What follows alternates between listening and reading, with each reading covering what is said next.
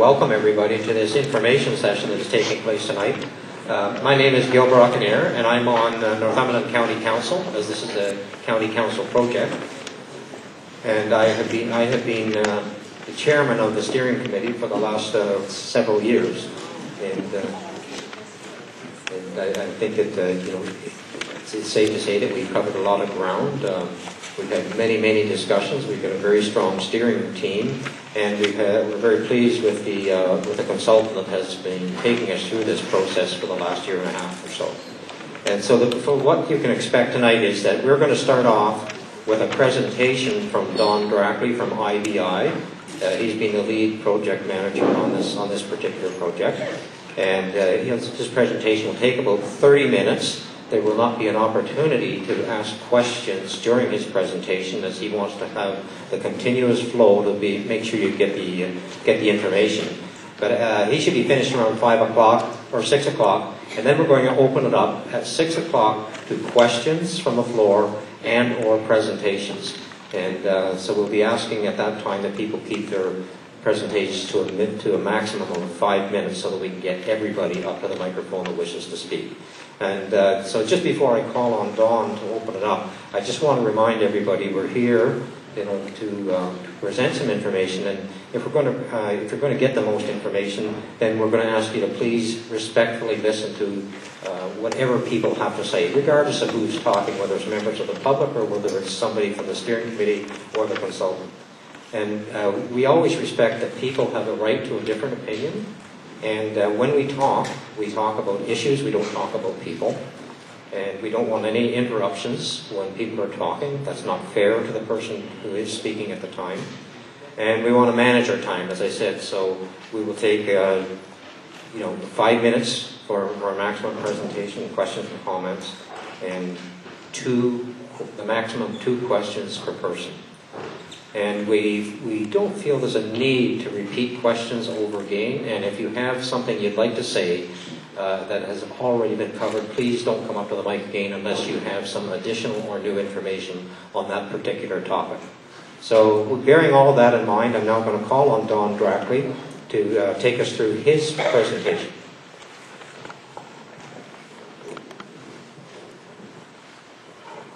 Thank, thank you, Gil.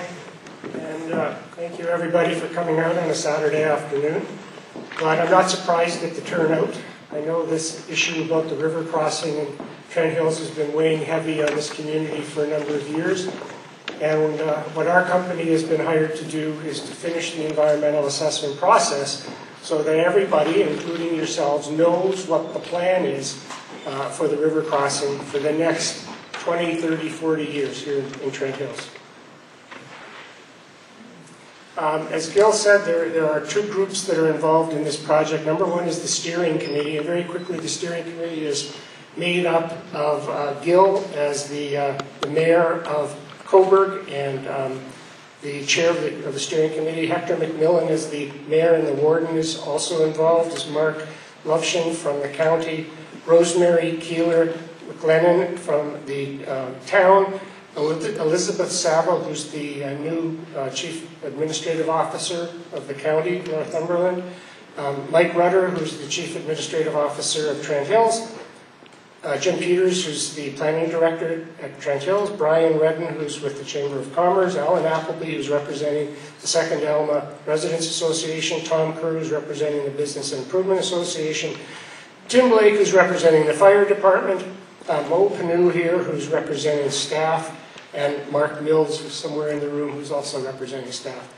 Uh, we as the consultants have been working primarily uh, uh, with Mo and Jim Peters and Mike Rutter on the kind of the day-to-day -day technical aspects of the project, and we report them back to the steering committee. And so far, we've had four meetings with the steering committee. Every one of those meetings has been completely open to the public, and I think we've been able to have a good exchange of information. Um, just to give you a quick, brief summary, uh, we're not the first consultants, as you probably know, who've been involved in this project. Back in uh, 2008, the county uh, retained a company called AECOM to conduct this environmental assessment of a, uh, of the river crossing in Trent Hills. And to make a long story short, they recommended that the second Alma crossing be constructed, and that was taken to council. And that's when public came out and noted concern about that. And the question came up, is there any other way of doing this? And one of the questions was, is it possible to twin the existing Bridge Street Bridge? So what the, what the county did was to retain another engineering company special, that specializes in bridges to answer the question of whether that's feasible. That company said, yes, it is feasible, but at the same time, they recommended that the county still plan for a second river crossing for the long term. Then uh, the county hired a company called Genivar to actually design that bridge in order to nail down whether it's feasible to twin the existing bridge and how much it would cost. And that's what Genivar did. And then we were brought in to finish up the whole process. And I have to stress really strongly right now, we were not hired to restart this project. We were not hired to redo the work that other consultants had done. We were hired to review that work and incorporate it into a finished product, and that's what we're working on. We have two alternatives for the crossing of the uh, Trent River here in in Campbellford. One is to maintain the existing Bridge Street crossing, uh, twin it, and eventually when the old part of the bridge needs to be replaced, it would be replaced so that the, the town would end up with a new structure. It would have uh, three lanes on it, one lane per direction plus a center turn lane, and off to the side it would have a recreational path. The second alternative is the second Alma crossing, and I have to make it clear here that the second Alma crossing also includes the retention of the Bridge Street Bridge and the replacement of it when it comes to the end of its life.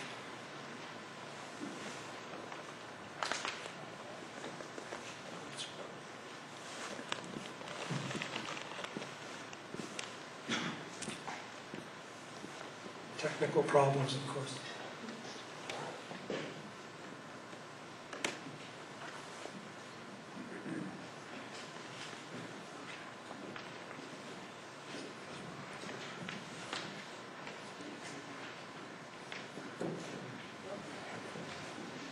Now, I want to talk a little bit about some other work that's been conducted on the project since we retained a year ago to complete this work. Number one,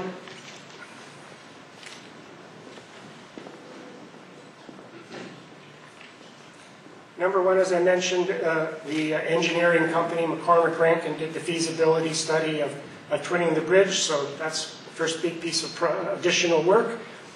Then a company called Meridian Planning was hired to design a way of evaluating uh, the, the two alternatives, the existing bridge versus building a new bridge. So they designed a very complicated, in my opinion, way of doing that. Then, um, as I said, the, the company called Genivar designed how to twin the bridge and then replace the old bridge and eventually come up with this, this new structure that I mentioned. Um, when we got involved, there was questions about the existing rental apartments that are down at the existing bridge and uh, what would happen to them if they were removed. Because in order to build a widened and twinned Bridge Street Bridge, all three groups of buildings at the end of the bridge, that is on the west side and the east side, would have to be removed. And the question was asked by some members of the public, well, what's that going to do to the supply of, of uh, low-income housing in this town? So uh, that was studied by a company called TWC. They did c- conclude that removing those buildings would be a significant impact on the rental housing stock in Campbellford. But they also at the same time said that over time, that loss could be mitigated by working to improve, improve uh, rental housing stock throughout in other parts of the community. Uh, Another question that came up was, um, are those buildings at the ends of the bridges heritage buildings? And what was, uh, in- I remember one of our steering committee members, one of the members of the audience said uh, something that I don't forget. She said, they, they may be old, but it doesn't necessarily mean they're heritage. And that is exactly what the heritage consultant concluded that was retained to, to determine whether those buildings are heritage. They are not heritage buildings. They are old. They are being used as low-income rental units, as you all know. They don't look very nice from the street. Um, the owners of those buildings have contacted us and has basically said that they're for sale. So um, uh, this is the information that's provided to us on the status of those buildings. And a couple of other quick things. Uh, we had some additional archaeology work done. The archaeologist tells us that if the um, Bridge Street Bridge was widened or if a, second Alma crossing was, uh, was built, there would have to be uh, archaeological work along the edge of the river. Um, environmental consultants dealing with noise concluded that there would be noise generated by both projects, but in the case of the, uh, the Bridge Street Bridge, it's downtown and there are no sensitive noise receivers except for those rental apartments. And in the case of the second Alma, yes, there would be noise impacts, and it would be very difficult to mitigate those noise impacts because of the design of the, of the bridge over the river. And we had a, an environmental consultant take a look at the river itself, and they concluded that there are really no um, natural environment implications of building a new bridge or twinning the existing bridge over the river. So AECOM back in 2009 concluded that by the year 2027, that there would be increased river crossing traffic, uh, that, that, that this town would require increased river crossing capacity, and that will assist in reducing current and future traffic congestion, emissions, and road user costs, as well as providing future economic growth and development. These are their words, not ours. There would be reduced reliance on existing uh, secondary routes like the Trent Drive route. There would be improvements in the efficiency, the efficient movement of goods. Uh, it would provide safer conditions for vehicular, pedestrian, and cycling travel, and improved opportunities for active transportation like walking and cycling. So that was what was presented to the uh, Trent Hills and to the county councils back in late 2009, those, those conclusions. They also concluded in 2009 that by 2027, uh, the existing Bridge Street Bridge, even if the traffic signals were optimized to the max, which by the way they already have been since, since then, that we, the bridge would be experiencing very poor traffic conditions at both intersections at the ends of the bridge. Um, that if a second bridge was built, and therefore there were two bridges operating across the river, that the intersections would operate in fair to good conditions. Now, IBI Group, our company, we looked at the same information, we updated traffic counts, that sort of thing, and forecasted a little bit further to the year 2033, 20 years of growth, and we basically came to the same conclusions that the existing bridge cannot handle very much more traffic growth before those intersections get very congested.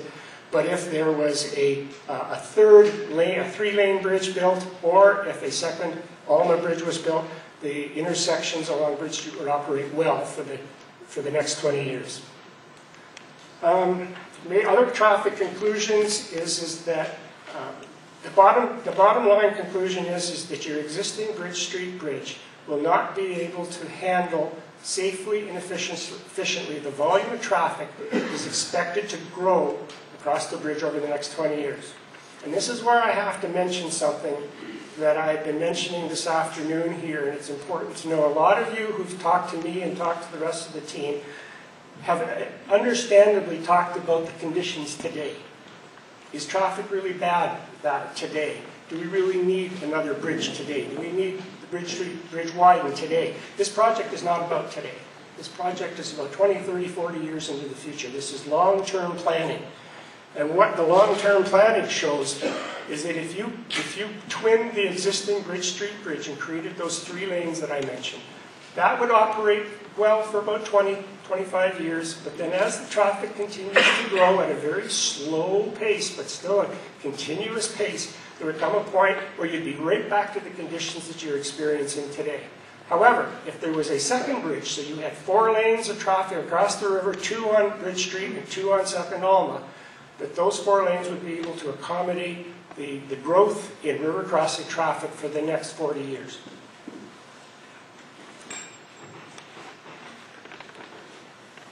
Now, here's, an, here's a real life example about what I'm talking about, about why, what it means to cross the river. On Friday, February the 28th of this year, the Cambridge Fire Department uh, responded to a fire on the west side of the river. And the response from station number one, that's the one in downtown Cambridge, uh, excuse me, Campbellford. I live in Cambridge, that's why I said that. Um, it took six minutes and 35 seconds to reach the fire. From station number two in Hastings, it took 18 minutes and 52 seconds to reach, uh, which is 12 minutes longer. And from station number three in Warkworth, it took 16 and a half, 16.52 minutes or 10 minutes longer. The point here, ladies and gentlemen, is, is this 10 to 12 minute additional time for that fire truck to reach that fire could have meant some very unpleasant situations in terms of how the fire grows over those 10 to 12 minutes. And the fire chief is here if anybody has any questions about the, the details of, of containing a fire. And if it had been an EMS, if it had been a heart attack or something like that, basically after three minutes, three to five minutes, there is serious chance of the, the patient being in dire straits because of that wait. So this is the kind of situation that is occurring here. And this occurred on February the 28th.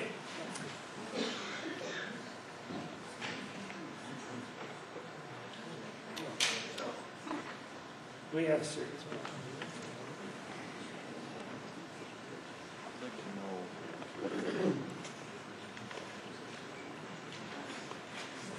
So, to start to wrap up, what, we, what I want to do here is hit the high points of what the, the advantages and disadvantages, or the pros and cons are, of each of these two finalist alternatives for crossing the Trent River. On the subject of transportation, if we keep to a, a, a twinned existing Bridge Street Bridge, there are some advantages to that. It's, it continues to use the existing river location, river crossing location, so there's no functional changes to any of the roads in town. Um, it will provide adequate traffic capacity on the Bridge Street corridor, and that would therefore discourage traffic from shortcutting into other, using other routes to get around and into people's neighborhoods. And it provides opportunities to, to improve those intersections at Bridgefront and Bridge Queen. The disadvantages of uh, using the and twinning the existing bridges is that the, that that after 20 years, that bridge is likely still not going to be able to handle the volume of traffic that would continue to grow. Um, there would be limited emergency response capability on one congested river crossing. And if adequate Bridge Street capacity is not maintained, traffic would start to divert to try to find different ways to get around the town after they either approach the bridge or get off the bridge, and that could be in front of people's houses. And the long-term truck congestion across the bridge is expected uh, because there's no alternative crossing for commercial vehicles. On the other hand, from a traffic point of view, if you build the second Alma, the advantages of that are that it meets both the long and the very long-term uh, transportation needs of the community. It provides river crossing redundancy because you've got two bridges. So if anything ever happened on one, you could still get across on the other. That could be an emergency or that could simply be regular maintenance of one of the bridges. It'd always be the other one to use. Provides road access to planned growth areas in Campbellford, which are mainly to the east and the south. Um, downtown traffic would be diverted from Bridge Street, but it would mainly be the traffic that doesn't stop. It's the through traffic that goes through downtown and that the downtown would become more pedestrian friendly because of that. Admittedly, the cons of building the second Alma crossing from a transportation point of view is it adds traffic to new streets like Alma and Simpson and Coburg. Uh, traffic controls, new traffic controls would be required. For example, traffic signals at the corner of the bridge and um, um, where the Canadian Tire is. Simpson? No, not Simpson. Grand. Grand. Grand Road. And it splits the traffic volumes between two bridges, so admittedly we know that the merchants in the downtown would be concerned that the pure volume of traffic by their, by their front doors would be reduced. But as I said, a lot of that reduction in traffic would be through traffic that would never go through their front doors. From a social environment point of view, the, the advantages of twinning the existing bridge is that we're not affecting any single family houses, just those rental units in those old buildings at the ends of the bridge. And it does provide river crossing access, access for some of the planned residential development in town. But the disadvantages are it does displace that low-income housing, so that's going to have to be made up somewhere else. And it provides no access to growth areas to the south of Second Street. If uh, it's a, if it, in terms of the second Alma Bridge crossing, the advantages are it's the long-term replacement of uh, the, the Bridge Street Bridge by avoiding um, the Bridge Street Bridge can stay two lanes because there's another bridge in its, uh, across the river. So therefore, there's no impact on the, those rental units, on the commercial property. Unfortunately, that is, a lot of it is empty right now, but it would be still available for rent. But the disadvantages are from a social point of view, and we readily admit this, and I think it's obvious to everybody, that there would be residential property impacts along Second Street, between Saskatoon and Front Street. Now, that doesn't necessarily mean that those residential properties would be um, demolished. Not in fact necessary. Perhaps the, the use of those residential uses would change because the, the, the, the, the neighborhood would change. But if, for example, the, the county purchases some of those properties, the county can um, resell or release those properties for other purposes. And we've all seen in cities where older buildings, older homes, for example, are turned into things like offices and restaurants and that sort of thing. The existing residential areas along the New River Crossing would experience traffic intrusion as well. So admittedly, the whole character of Second Street would change, and, and Alma and Simpson for that matter. They would become uh, streets much different than they are today. From a cultural environment point of view, we know that if we maintain the existing Bridge Street Bridge, we we're maintaining the historic river crossing in Campbellford, and there, there doesn't appear to be any designated heritage buildings associated with that existing crossing. In terms of disadvantages, there really doesn't seem to be any disadvantages of a, of a twinned existing bridge as long as the bridge copies the, exist, the shape of the existing bridge, and that's what the province would require. Second, Alma, uh, Pros Art maintains river, the river crossing location and, and, and uh, waterscape views as well, and it preserves heritage landscapes in the downtown. But the disadvantages from a cultural heritage point of view obviously are that there would be direct and indirect impacts on designated and listed heritage homes along the east approach along, along uh, Second Street. And that, that would also mean potential changes in the, in the use of those buildings from homes to other uses, office, retail, restaurant, etc. From a natural environment point of view, we're pretty clear on this one. Um, the, uh, everybody knows the existing Bridge Street Bridge drains right into the river, and it's upstream of your water supply. That's not a good situation. If an existing, if the, if the second Alma Bridge was built, especially if it accommodated truck traffic, then you would have less chance of any incidents happening on the old Bridge Street Bridge that would run into the river and into your water source.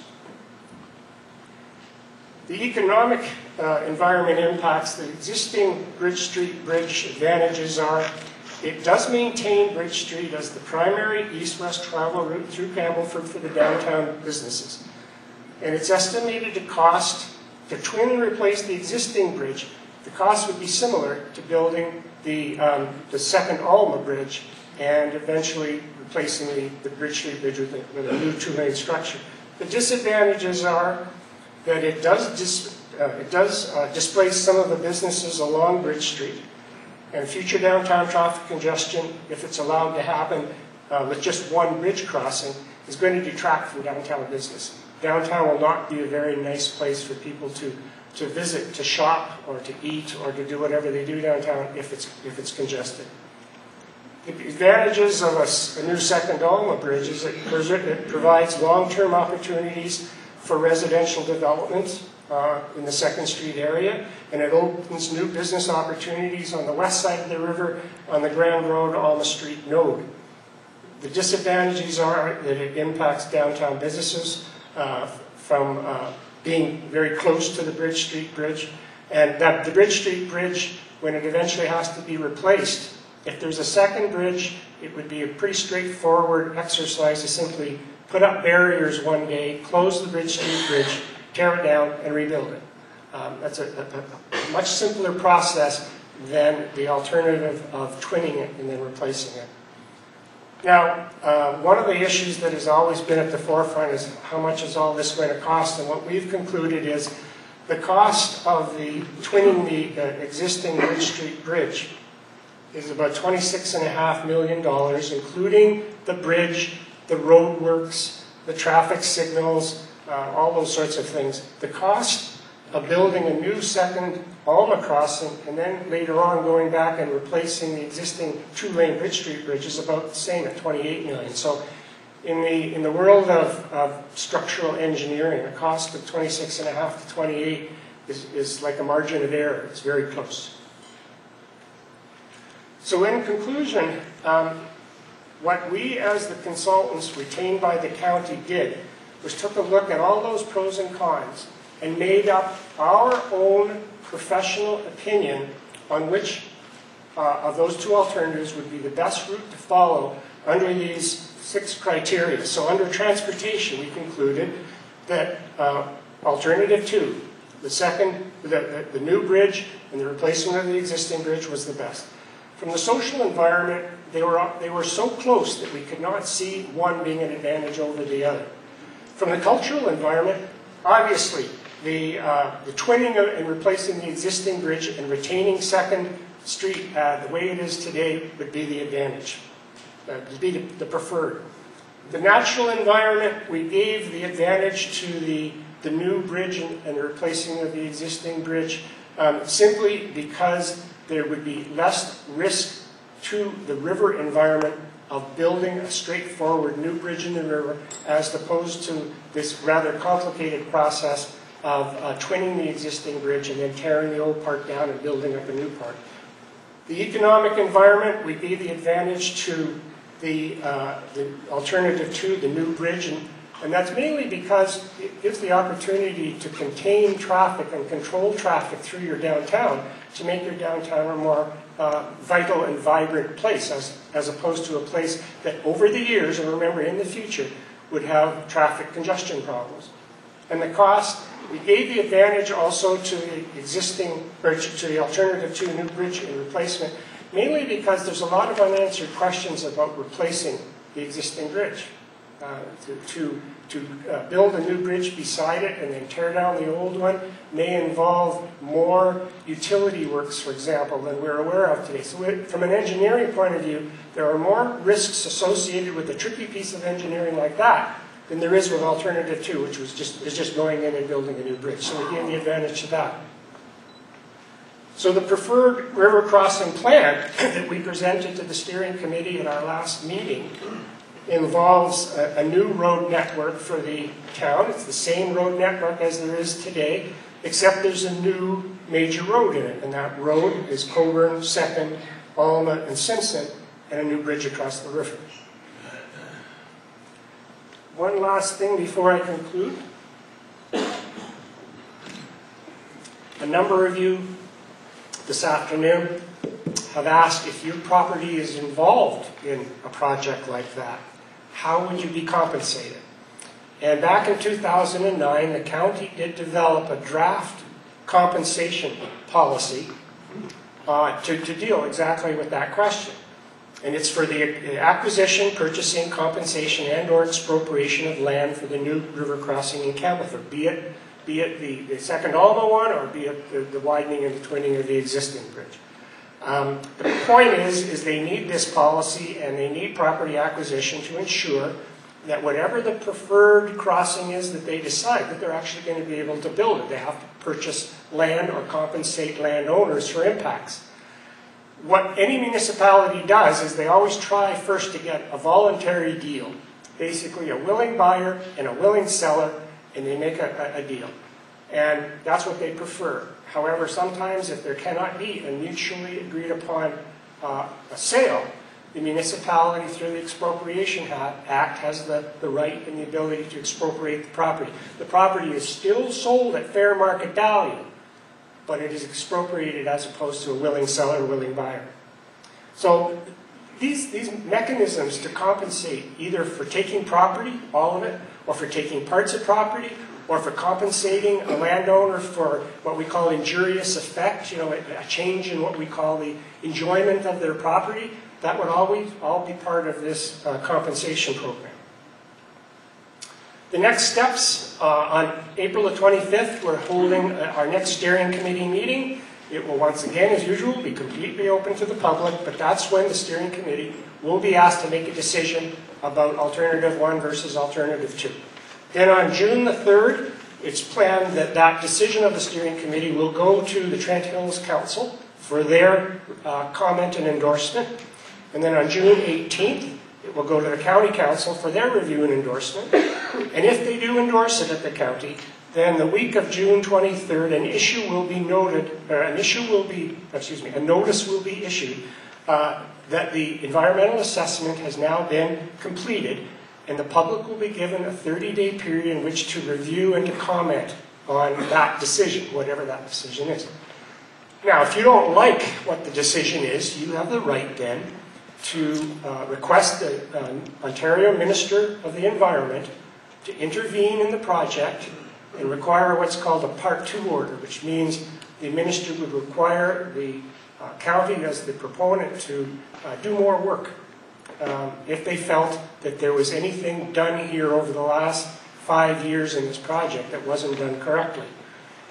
And if at the end, on the end of July, if uh, no comments like that are made to the minister, or if they are and they've been resolved, then this project is finished.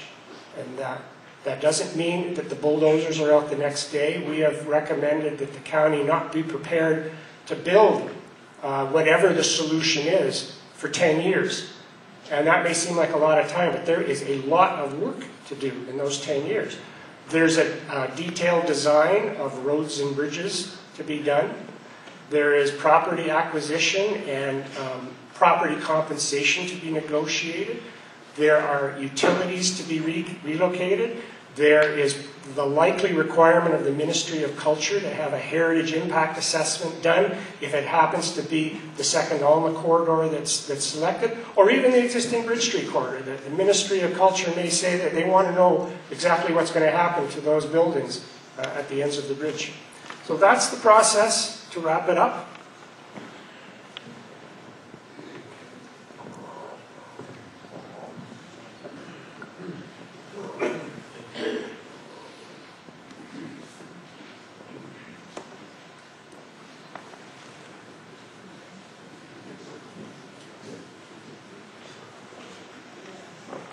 A couple of frequently asked questions. Like I said, when's the new bridge going to be built? Not for 10 years. If the, uh, and then when the existing Bridge Street Bridge has to be replaced, after that 10 years, it's probably got another 20 years. So there's, nothing is going to be happening immediately. Why is an environmental assessment needed if the new bridge won't be built for 10 years? There's three main reasons. Like I said, there's a lot of work to be done. Number two, that the county needs an, an environmental assessment approval to access provincial and federal infrastructure funding that comes up every couple of years. There's either from the federal government or the provincial government opportunities for infrastructure funding. The catch is the municipality has to have an approved project. They can't say, well, we were thinking of building a new bridge. They actually have to have the plan in place to do it.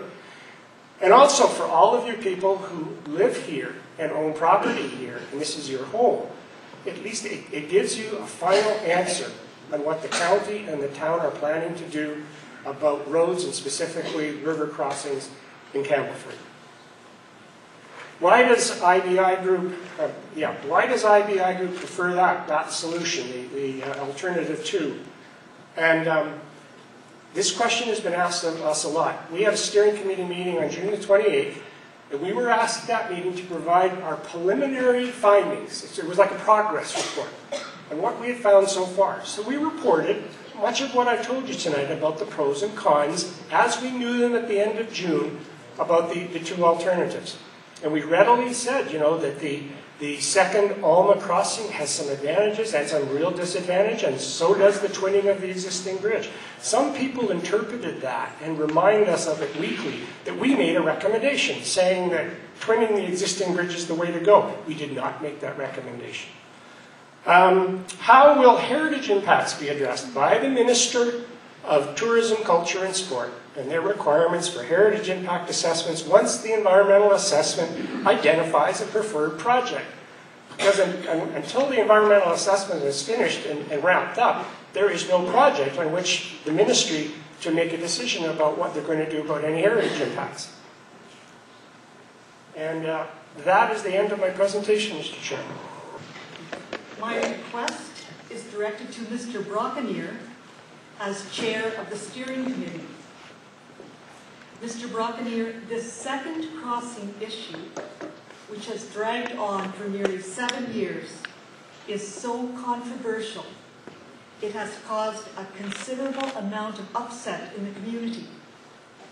In some cases, people are afraid to talk about or take sides on the issue because their businesses or their relationships with friends and co-workers may suffer.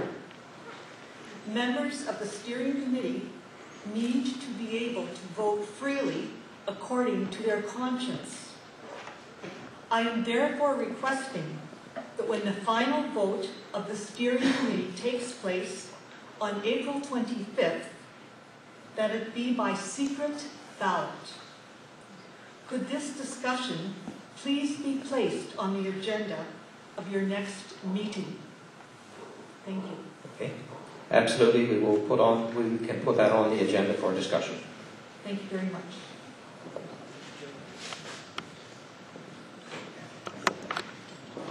Paul, was there?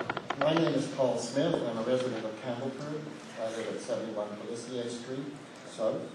And my question to the committee is this, based on what we have just heard. I am concerned that if the second Alma Street Bridge is, is the one approved, and uh, we were advised at the February meeting that this would be a two-lane bridge, which would be unable to be uh, extended to a three or four-lane bridge at a later time, that I'm concerned that there's no guarantee, or perhaps you can give me a guarantee, that the Bridge Street Bridge will be replaced in 20 or 30 years. Because it seems to me that this is all on the condition that we are going to have two bridges. And I'm not at all certain that that will happen due to the funding, and I'm looking at the county's infrastructure um, for transportation, as you're well aware. It's in a, almost a deficit position at the present time. There's no plan to have it really expanded enough to take into all these considerations that are going to take place in 30 years, with the province uh, also being in the same deficit position. And I'm concerned that we could easily end up with one bridge, two lane, and be left with it at second and have no bridge when the time comes that bridge when it has to be replaced. And if I could just, I have a second, I know the last second question, but maybe I could answer this one or put this over to someone and then just say another quick question. Go ahead. Okay, the comment I have actually is that I'm, I'm, I was surprised that we did not have tonight a drawing of this proposed bridge at Second Street to show what it would look like. And I also was surprised that we didn't have the drawing of the uh, bridge, that, uh, of the, uh, of the Genivar bridges for the Bridge Street Bridge, which we're, uh, which we have, uh, I know there are somewhere, so we couldn't compare apples with oranges because we didn't have these at the present time. I just wondered why that wasn't the case. Thank you very much. Okay, then I can, I'll, I'll direct that, uh, the first question was, uh, is there an intent, the intention has all along, by the committee has been to, has been to replace the, uh, Bridge Street Bridge when necessary, but I'm going to ask Mo Panu to talk to, talk to that. Um, Answer that question first. Uh, Thank you, Mr. Chair. Um, The question uh, regarding the guarantee for the second and Alma Bridge is basically in our EA. Uh, The EA is a two-part EA. Um, The the solution is proposed um, is um, either we build a three-lane bridge at existing corridor, or the second option is we build a two-lane bridge at Second and Alma, and then subsequently replace, uh, replace the existing bridge. And if county is to, uh, on a later date, to deviate from that, we will have to go through another EA process, uh, which would be very similar to this process. Yeah, I'm well aware of that. I mean, that was quite clear in the material you provided. What I'm not, I'm not uh, confident in is that the county at this time will commit themselves to a second bridge. Well, if I, I'll ask, that's a political question, so I'll give you a political answer. And uh, the, the political answer is that it is our intention to do that 20 years into the future, 30 years into the future. But this, uh, this county, of county council uh, cannot make a commitment that is binding 20 to 30 years in the future for a future county council. But there, there is every intention to try and do that. I, and would beg to differ, because you are going to, if you're going to commit yourself to a Second Street Bridge, as what has been said already, that is going to be not for ten years, county council is going to change maybe twice in that period of time. So what you're doing now, if you go for the second Alma, is committing a council three times, three times, uh, you know, three, uh, uh, elections away. So it is going to be committing another council. So if you can do it in ten years, why can't you do it in twenty years? We- Well, we can't do it in 10 years either, but uh, our intention is to, we are, uh, you know, through our capital program, we are planning on putting money away towards the, you know, the construction of a bridge 10 years from now. If another county council comes along and decides to do something else with that money, then we, I have no, I have no control over that. And the second question you had, I'm going to ask Don to respond to it about the, um, the the illustrations for the two bridges. If if I can, Mr. Chairman. Before I respond to the second question, as, as Mo Penu said, if county council approves an environmental assessment and it, and it has two bridges in it, as far as the Ministry of Environment is concerned, that's what they have to build. So when the time comes to get the environmental and building approvals from the, from the province, the province will say, okay, you're building a new bridge, and when will you be building, or you are still committed to building, uh, to rebuilding the existing one. And the only way they could change that would be to redo the environmental assessment, which would be another public process. In terms of the renderings, first of all, uh, renderings had been uh, prepared of the, um, the twinning of the existing bridge back in 2009, and those are, are available on the project website. The plan for the um, second Alma Bridge is also on the project website. And so we felt that because we were focusing in on finishing the project and we had one afternoon with you folks, we would focus on um, the recommendation, not necessarily what it looks like. You can find out what they look like if you go to the website. However, I've spoken to a couple of people and I said how, how useful it would be. So we're going to make an arrangement over the next couple of weeks, hopefully if the snow goes, uh, and it doesn't look so ugly out there. It, the whole thing depends on taking good actual photography and then do a rendering of what the after is. We're going to see if we can do that so we can present it to the steering committee on, on April 25th. Thank, you. Yes? I believe there was unintentionally some misinformation given, where you replied to the gentleman saying that the county had set aside money. From your county budget records of this year, you have, in it states, your budget does not include any allocation of county share for the Brighton grade or the potential new bridge in Campbellford. You might have accidentally misinformed that last gentleman. No, I, I, what I said was we are building reserves. So we are, are, we are building our reserves every year um, at the county, and then we will determine what we do with those reserves. So that is Uh, not I did- I did not- setting aside money for the bridge. Well, that's not specifically for the bridge, you're right, Tom. uh, Tom. So you might realize that that wasn't quite the truth. Okay. I was, I, I did not intend to mislead uh, the gentleman who asked the question, but we are aggressively putting money aside each year uh, for a large capital reserve. Okay, next question. My name is Dennis Van Landingham, and I'm the resident of Campbellford, live at 116 Grand Road. And in the community press on Thursday, March 6, uh, page 9, the Northumberland County CAO was quoted as saying the cost for annual infrastructure upkeep is $27 million annually. And there is a shortfall of $10 million this year, $15 million the next year and tax increases to cover this would be unattainable. Would you please explain how Northumberland County, into which our tax dollars do flow, is planning to afford its current debt and still pay for its share of the cost of this unnecessary second bridge? Well, we do that the same way that every municipality does um, that has a shortfall in infrastructure. So what we have to do is we have to uh, prioritize the, uh, the projects that we will work on. We, we know that every municipality across the country is uh, suffering from infrastructure debt, and they will never cover off, they will never be able to complete all the infrastructure projects that are required. So they, they go to work and they put a priority on the one, on, on what is really needed and address them in that order. I I don't know, would you like to? Yeah, there's, there's more to it than, than just that. Um, Thanks for the question, Dennis. Um, And I, I guess what you're saying is the affordability and, and to be able to pay for it. We need to do something with the existing bridge. We know that day is coming. And we can all wish it away, but we know that's not going to happen either.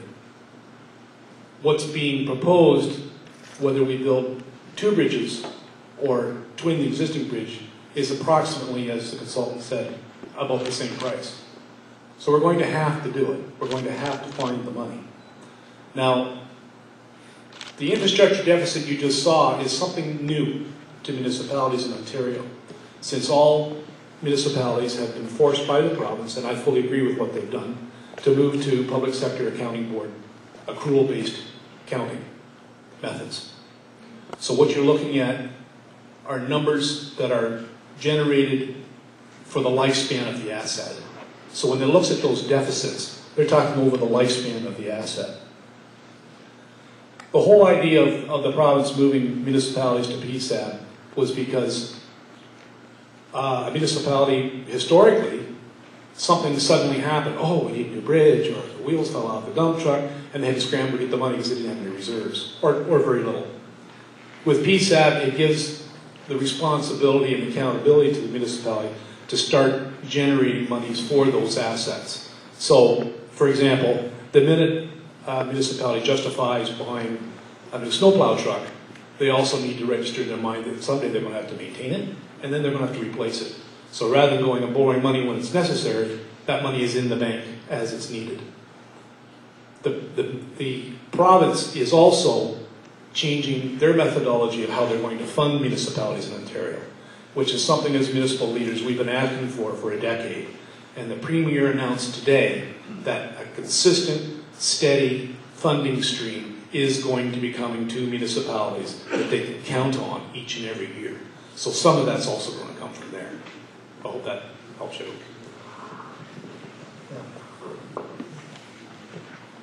Okay, next, uh, next speaker? I'm Brenda Coaches, and I live in Campbellford. And Mr. Chair, I wonder if somebody could keep track of how long we spend on each question. I see how many people there are here. Yes. So I wonder if it could be five minutes for both question and answer. I've been keeping track, and we haven't gone over five minutes yet. Oh, okay. All right, good. All right, so I'm- I I'm turning the clock on you now. Okay. so I have a question and a comment if I have time about the housing. So my question is to Don Bradley. At the last steering committee meeting, you referred to the second Alma crossing as a bypass and compared it to one in Paris, Ontario. Interestingly, the Paris bypass is actually a bypass. It goes around the city, not through vibrant residential neighborhoods in the center of town, like ours will. The bypass that you propose lands on the east side of the river in proximity to the recreational hub of this town. There's a skateboard park, a splash pad, three soccer fields, access to Ferris Park, Rotary Trail, lawn bowling, boat launch, tennis courts, a daycare, and early years and youth centers. There are also 72 apartments for families, seniors, and the handicapped, hence loss of pedestrian traffic such as young mothers walking with strollers and young children. And I don't know if everybody knows, you won't be able to access through your vehicles except down Saskatoon or Up Trent Drive. You can't access from front or second anymore if that bridge goes in. Because you're recommending a bypass from all this community activity, there is a much increased potential for tragic accidents as a result of the increased traffic, because we're talking about in the future 12,000 vehicles a day going through Campbellford. So why are you recommending a bypass through residential areas? Don, I think you're, I think that's a question. Yep, it is. We're recommending the second Alma crossing and the twinning, or the uh, replacement of the existing bridge because based on all the considerations that we evaluated, we think that that has the best long-term uh, benefits to this community. Admittedly, when you look at it today, those types of land uses that you just mentioned are definitely there, and some of them will be impacted. We're looking at it from a long-term overall community benefit, and that's why we selected it. Okay, so you're talking about traffic, or you're talking about culture, heritage, people? All of it, all of it. Okay, I, I failed to see that, but I'll, I'll leave that answer. The comment that I'd like to make is what you're saying about low rental housing at the north side or the either side of the current bridge. We have established that that's not low rental housing, it's market rental housing, they're privately owned, they're not subsidized. Um, the rents that I was able to find out about are actually higher rents by a substantial amount than I charge for my rental. Um, the people who did the consulting were not able to get in there to have a look at what kind of condition they're in. So no real statements could be made about whether they were suitable for renters. I've heard them called the snake pit. Um, there may be 22 apartments there, but there are 72 apartments that will be impacted at Second Alma. They're not smack up against it, but they're certainly within 50 to 75 feet, well, yards. And Garshell will be almost underneath, that's 13 apartments, underneath the Second Alma Bridge. So a whole lot of people besides just heritage homes will be impacted. Um, interestingly, at the end of the housing study, the consultants suggested that this housing was fair to modest, and that's without getting inside, that's from the outside, and that there was plenty of time before they were taken down before, so that they could apply for provincial money. So I just want to make sure that we all know that they're not low income, and thank you very much. Okay, you're welcome. And you kept it to four minutes. Thank you. Uh, Good evening, my name is Dwight Boyd, I live at RR number 4 Warkworth. I have a question for Mike Rutter. Mike, to fund this proposed structure located in the municipality of Trent Hills, application will have to be made to senior levels of government for funding assistance. In addition to this proposed Don't Stop to Shop bypass, Trent Hills is planning to build a new recreational wellness center, a field house in Hastings, a substantial addition to the Warkworth Arena, a new $7 million fire hall in Campbellford, and all of the other infrastructure needs in this municipality as outlined in the infrastructure asset audit, which concludes that in the next 10 years, Trent Hills will need $337 million worth of upgrades to the infrastructure. That's in excess of a third of a billion dollars. We've certainly hit the big time.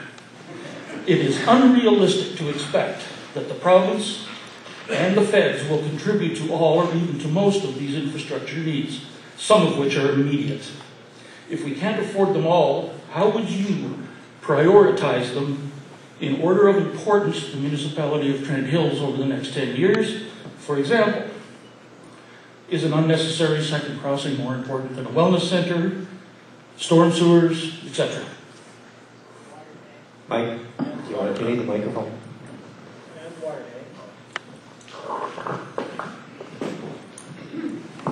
I I guess I would start by saying, yeah, it's a, it's a daunting task, there's no question, there's a lot of needs.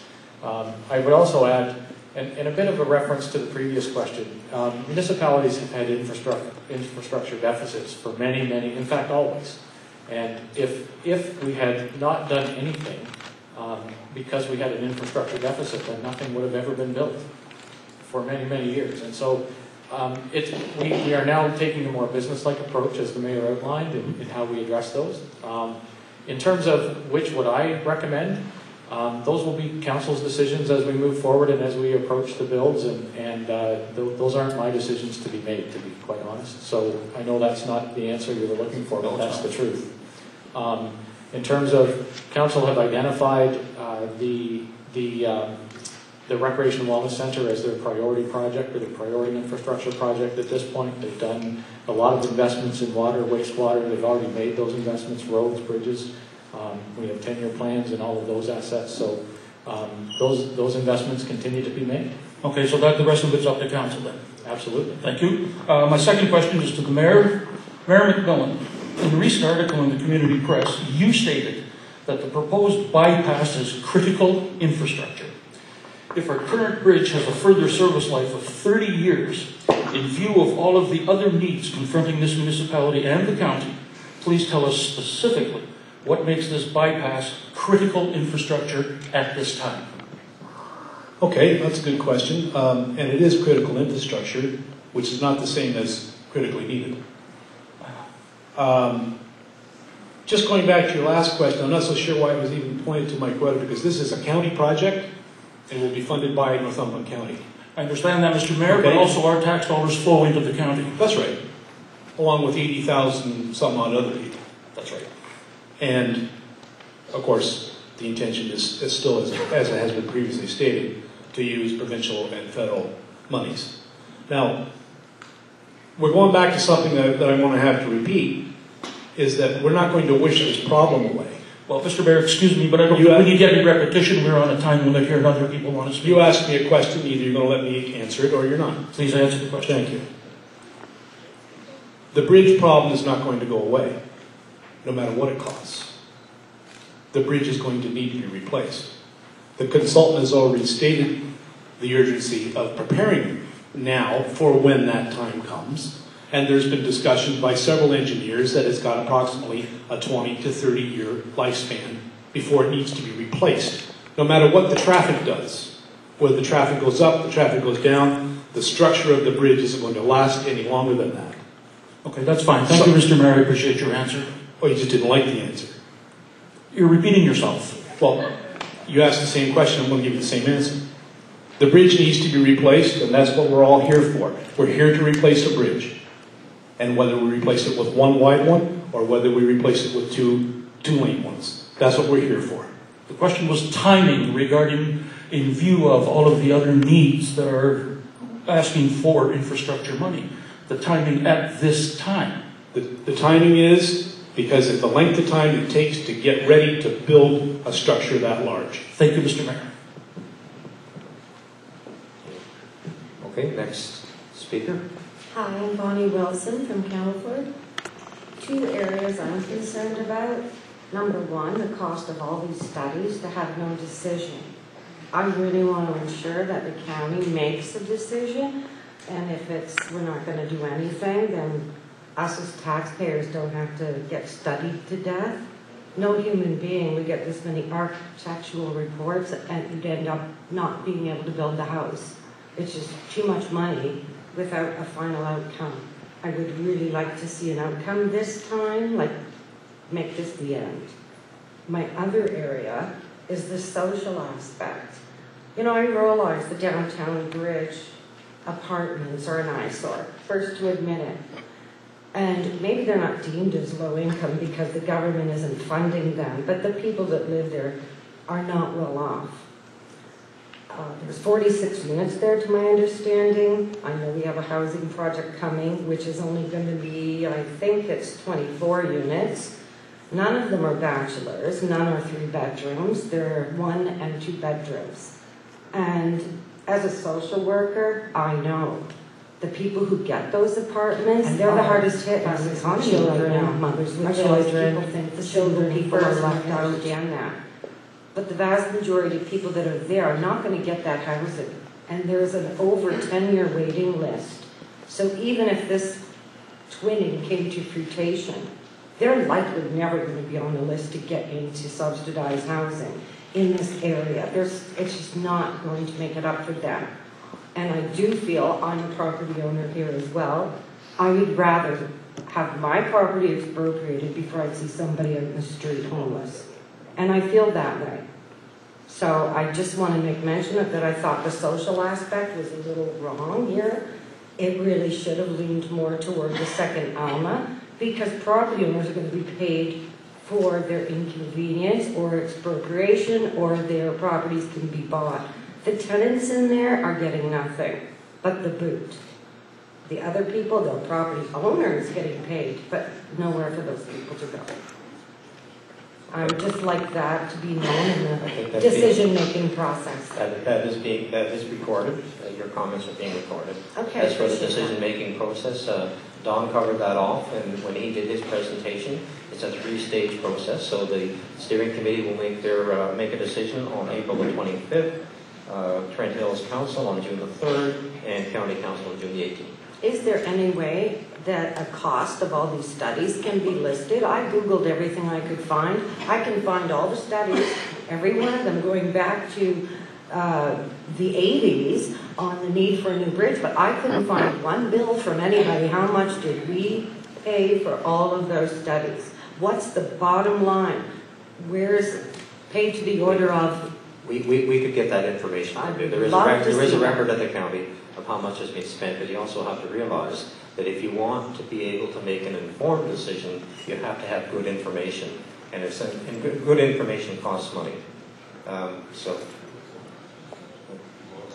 Mo, do you want to talk to that? You, you may know some, you may have a, a ballpark figure in your head. Uh, Yes, uh, Mr. Chair, I do have some numbers for the EA um, that we have um, so far uh, with TSH and AECOM, which was in 08, 09.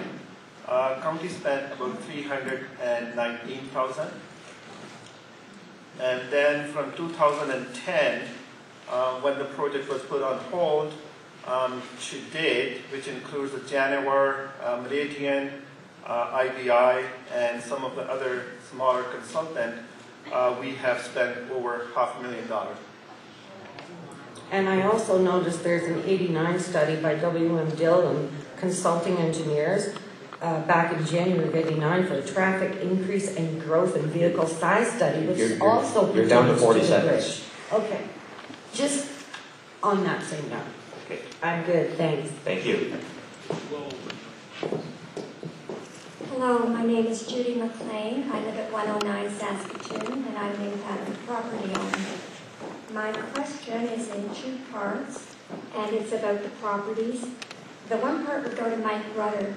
When properties are acquired, uh, there's going to be a loss of tax revenue, probably a considerable one.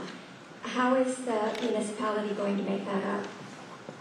Yeah, I actually, want, want the mayor to answer that, or? I, I thought it would go to Mike, but I don't know who it would go to.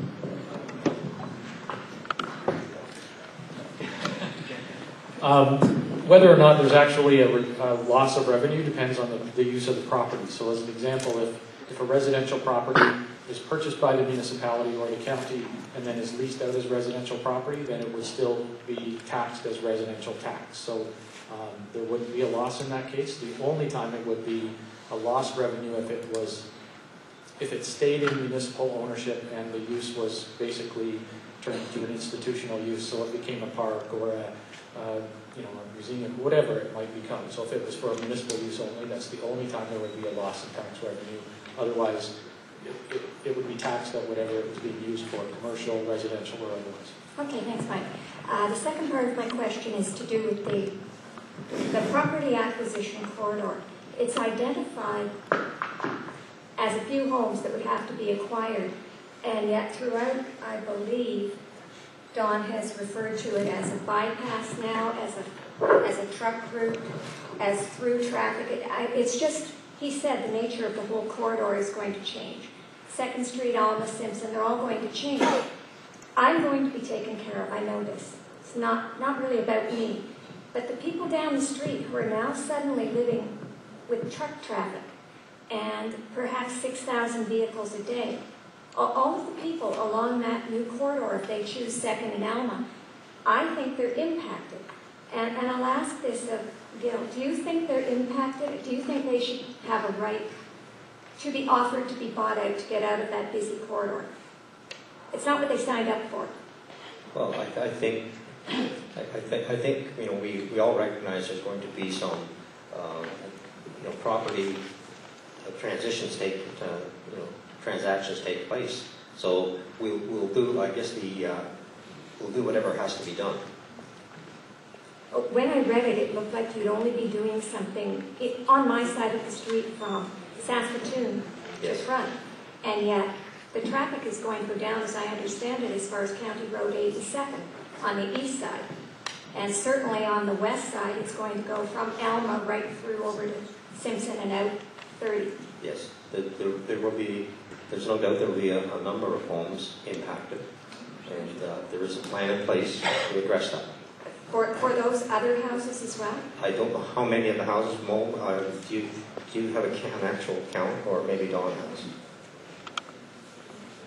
I, I guess my point too is, you refer to eight homes being impacted or acquired.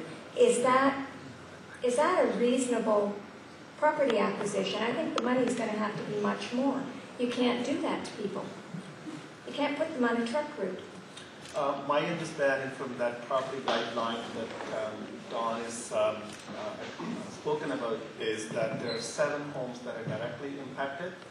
So those homes, um, there are five on Second and Almond and two uh, to the west side.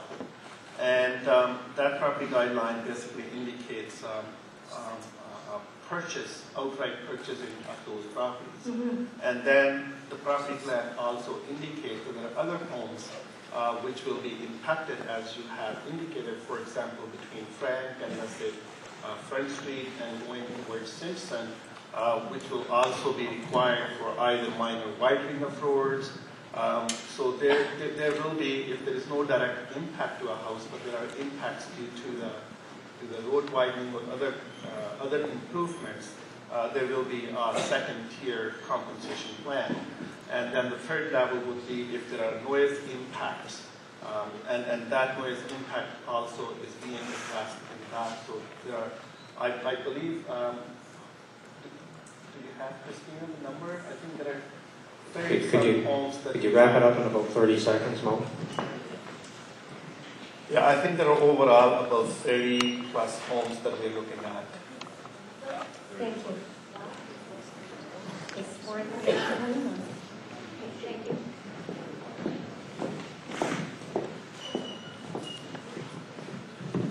Okay, then you're next. Hi, good evening. My name is Gare Marzinski. I'm a 12-year resident of the community. I've got a question here for Don, and it's regarding the long-term planning. Okay, now my understanding is that the, the Trent Hills strategy for the master fire plan long-term is considered five to 15 years. Uh, Hydro's long-term viability study on which your firm worked uh, is considered to be 15 years. Right? So in most long-term plans fall in the range of 5 to 15 years. And yet for the EA here, uh, you're looking at uh, a projection for vehicular needs and traffic patterns in the community is 50 years or more. Now, we do, as I understand, we do not actually have a master transportation plan in effect. So are we putting the cart before the horse by building the bridge and then planning around it? Like, why, why is that? So I'm just curious as to, we're looking at five to fifteen, but for, for this specific thing, we're looking at fifty. Right. Whenever you plan uh, for major urban infrastructure, like a bridge that has a 75-year lifespan, you don't plan for it in a five or 10-year planning I, horizon. I understand that, but would you not have the plan in place before you situated the bridge? You're talking about the transportation master plan, I presume, which is a 20-year plan, which the county does not have right now, but is initiating the development of. Right? And I believe as a transportation planner that there's been enough work spent on the river crossing question in Trent Hills that the need and justification for that crossing improvement, no matter what it is, has already been confirmed. And it, yes, it probably will be looked at as part of the transportation master plan, but this situation here in Trent Hills has already been studied to death. Right, but if you're looking at the master plan and you're looking at a 50-year projection, I mean, would you not be looking less of these truckers? Because I ran a business right on that bridge for many years, and I watched the traffic on that bridge. But as I go into my question is that if these long-term projections are five to 15 years in average, now we're jumping up to 50 years.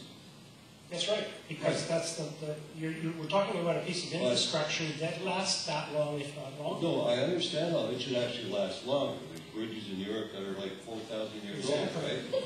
But the point being is that, you know, without that plan in place, like how can we determine that this is where that bridge needs to be? I mean, if it's a bypass bridge, it should be out of town. It should not be in the middle. The,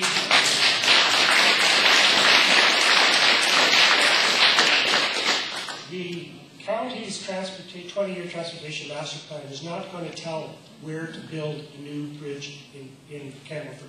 It is going to say, in the Campbellford area, there's X amount of river crossing capacity today, and we'll need Y in the future, and you should do an environmental assessment in order to confirm the location and type of crossing. Well, the county has already taken that initiative to prepare this environmental assessment. Okay, well, thank you very much. We need to replace the bridge in 20 or 30 years' time, or even how we replace the bridge. This is to do with, is there sufficient traffic volume to justify having two bridges in Canada? Now, if we look at the overall statistics for North America, and this is what I base things on, we will see that since 2007, overall traffic volumes in terms of vehicle miles traveled have actually declined. We'll also see that the projections, straight line, fixed percent projections, look totally absurd. And I'm prepared to show the committee the research I've done on this. Thank you. We'll Pass that on to the uh, committee. So given that the overall North American